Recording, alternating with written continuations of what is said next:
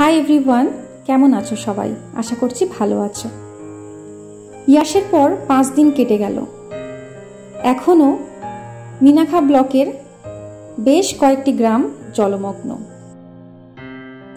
আজকে আমি তোমাদেরকে দেখাবো সেই ছবি মিনাখা ব্লকের যে বাসন্তী হাইওয়ের দুপাশের রাস্তায় যতগুলো গ্রাম আছে, কীভাবে জলমগ্ন হয়ে আছে। এটা যেটা দেখলে এটা বামনপুকুরের কাছাকাছি যে কৃষক সহায়ক কেন্দ্র আছে, ভিতরে পুরো হাঁটু অব্দি জল। বাসন্তী হাইওয়ের দুপাশে যে ছোট সরু খাল আছে, পুরো জলে ডুবে আছে। রাস্তার উপরে জল চলে আসছে। সামনে আসছে পাওয়ার হাউস ভিতরটা পুরো জল। কেন এমনটা হলো? ঝড় তো এখানে হয়নি। সমস্যা হয়েছে বিদ্যাধরী নদীর বাঁধ ভেঙে গেছে। সেটা আবার বেশ অনেক জায়গায়। তো এটা যে কারণে হয়েছে, ঘুষিকাটায় বিদ্যাধরীর বাঁধটা ভেঙে যাওয়ার কারণে। এটা দেখছ, পাওয়ার হাউসের ভিতরে কতটা জল, কে জানে? প্রচুর জল, দেখে মনে হচ্ছে জলকর। এমন ছবি এই এলাকার বাসিন্দারা বহু বছর দেখেনি। কবে দেখেছে জানেও না।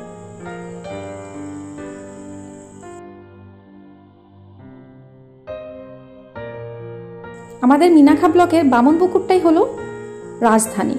কি নেই?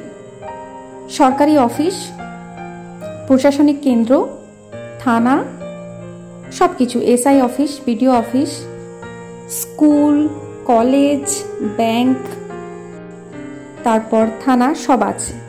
সেখানে এই অবস্থা। দেখছ? বাসন্তী হাইওয়ের উপরে জল। প্রতিদিন জোয়ারের সময় রাস্তায় জল উঠে আসছে। ভাটার সময় নেমে যাচ্ছে।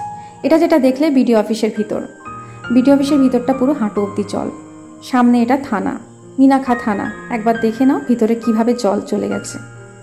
তারপর এগিয়ে কলেজের অপোজিটে, হুমায়ুন কবির কলেজের অপোজিটে একটু এগিয়ে গেলেই এই পেট্রোল পাম্প। সেখানেও জলমগ্ন হয়ে আছে। পরিস্থিতি খুবই খারাপ। এমন পরিস্থিতি আমরা কখনোই দেখিনি আগে। রাস্তার উপর অনেক জল। আমরা যে টাইমে গেছিলাম, তখন জলটা অনেকটা কমে এসেছিল। তাই এইটুকু। আর একটু জোয়ারের টাইমে আসলে জলটা আরও বেশি হাইটে ছিল। দেখতে পাচ্ছ কি পরিস্থিতি চারিদিকে?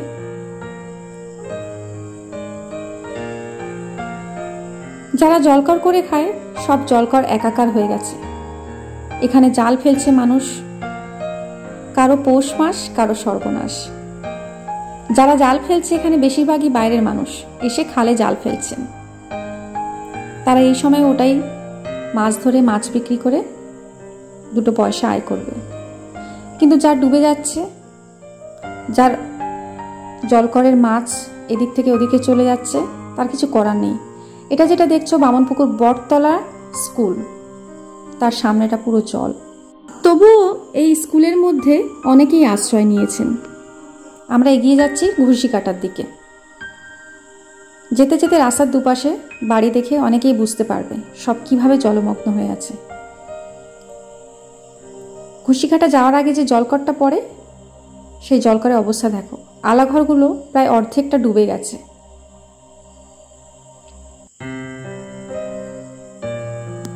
প্রচুর জলের চাপে, নোনা জলের চাপে অনেক মাছ, অনেক জলে থাকা প্রাণী রাস্তার পাশে মরে পড়ে আছে। কি অবস্থা সেটা সেদিনকে আমরা চোখে দেখে অবাক হয়ে যাচ্ছিলাম।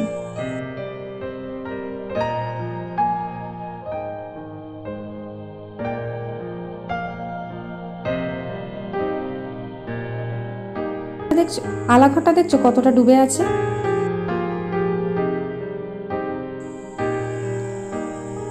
পরিস্থিতি হতো হয়তো এতটা ভয়ানক হতো না।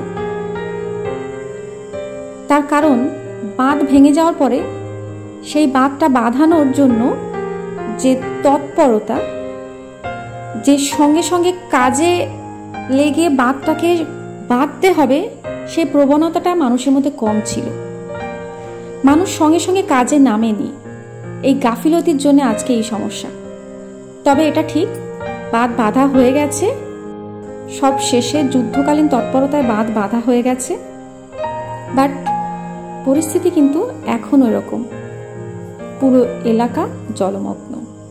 জানি না এটা কতদিন লাগবে ঠিকঠাক হতে। আশা করছি তাড়াতাড়ি সবকিছু ঠিক হয়ে যাবে।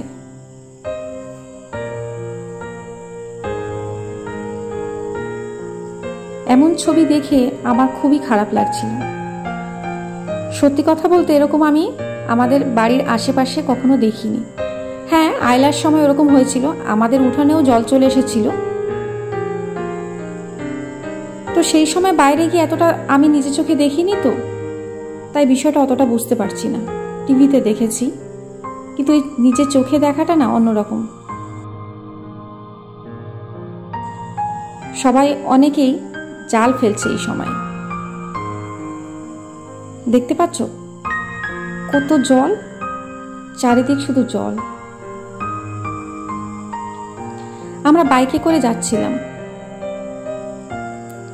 যেতে যেতে রাস্তার দুপাশ দেখছিলাম। আর অবাক হচ্ছিলাম, কি হলো? ইয়াসের তাণ্ডব কিন্তু এখানে খুব বেশি ছিল না, ঝড় তেমন হয়নি। কিন্তু যে একটানা প্রবল হাওয়া হয়েছে, বেশ বলতে পারো মাঝে মাঝে একটু দমকা হাওয়া হয়েছে, তাতেই বাঁধ ভেঙে গেছিল। তোমরা অনেকেই জানো বিদ্যাধরীর বাঁধ অনেক জায়গাতে ভেঙেছে। আমাদের এখানে তিন চার জায়গাতে ভেঙেছে।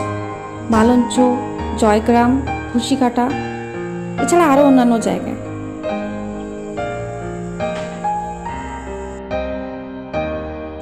আজকের এই ভিডিও দেখে তোমরা বুঝতে পারবে যে বামনপুকুর, মিনাখা খুশিকাটায় কতটা গ্রাম জলমগ্ন। মানুষ কীভাবে আছে? আজকে সেই ছবি তোমাদেরকে দেখালাম। যারা বামনপুকুর, মিনাখা বা ঘুষিকাটার আশেপাশে কেউ আছো আর আমার এই ভিডিওটা দেখছ, অবশ্যই কমেন্ট করে জানিও।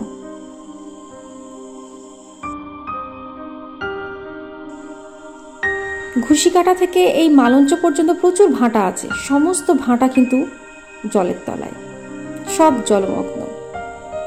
এটা যেটা দেখছ মিনাখার ভাঁটা। মিনাখা থেকে মালঞ্চ পর্যন্ত যেতে বাসন্তী হাইওয়ের বাঁ দিকটা পুরোটাই জল। একদম মিনাখা থেকে মালঞ্চ অব্দি যেমনটা এখন দেখছ, ঠিক এরকম। একটানা জলমগ্ন। ভাবতে পারছ কি অবস্থা?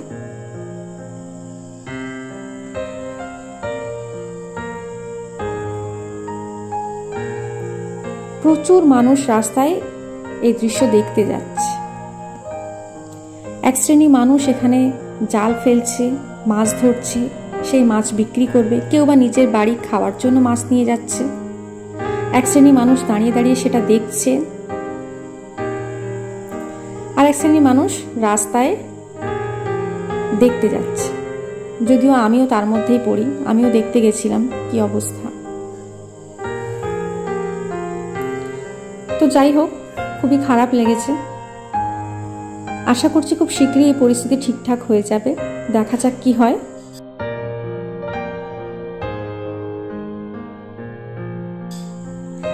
তো যারা এই অঞ্চলের মধ্যে পড়ো, অবশ্যই কমেন্ট করে জানিও।